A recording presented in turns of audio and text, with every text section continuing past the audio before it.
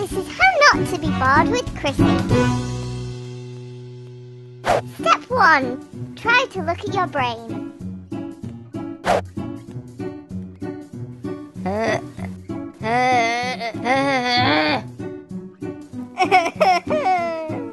yeah, you so tried that.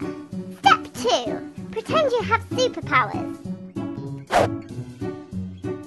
I have superpowers. I'm controlling you with my mind. Walk over here.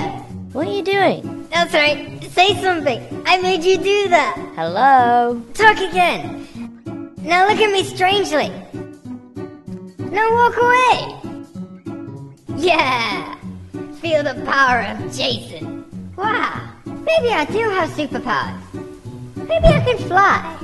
Whee! Step 3. Try and find Waldo.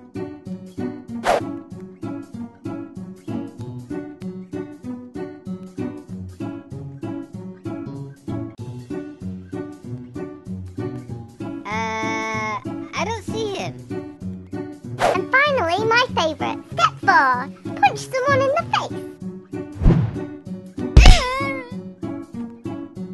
If you're still bored after following this guide, then go to hell. This is how not to be bored with Chrissy.